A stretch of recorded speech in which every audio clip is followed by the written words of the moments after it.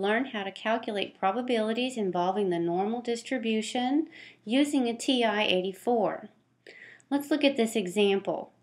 The weights of adult male beagles are normally distributed with a mean of 25 pounds and a standard deviation of 3 pounds. A beagle is randomly selected. Find the probability that the beagle's weight is less than 23 pounds. Next, find the probability that the weight is between 24.5 and 25 pounds. And finally, find the probability that the beagle's weight is more than 30 pounds. Here's the solution. The notation here shows us the probability that x is less than 23 pounds is 0.2525. Let's see how we got that on the TI-84. To do this, you hit second distribution and go down to normal CDF, hit enter. We have to enter in the low limit, which would be negative infinity. So we can use negative 1, 1, 1, 1, comma. The upper limit is 23 for 23 pounds, comma. We have to enter in the mean of this distribution, which was 25 pounds, comma we have to enter in the standard deviation, which we were told was 3 pounds. Close parentheses and hit enter. And here's where we have the 0.2525 if you round to four decimal places.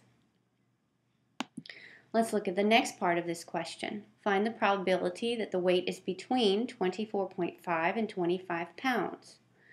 So the solution shows we want the probability that x is between 24.5 and 25 pounds, and we see that it's 0.0662. Let's see how we got that on the TI. Again, we can go second distribution, normal CDF, and this time the lower limit is 24.5 The upper limit is 25. We have to enter in the mean, so you hit comma, enter in the mean of this distribution, comma, and the standard deviation, which is 3. Close parentheses and hit enter. And we see that it's the 0.0662 if you round to four places. And then the last part of this question, find the probability that the beagle's weight is more than 30 pounds. So we're looking for x being greater than 30 pounds.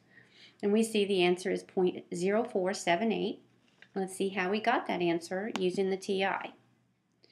So we hit second, distribution, pull up the normal CDF.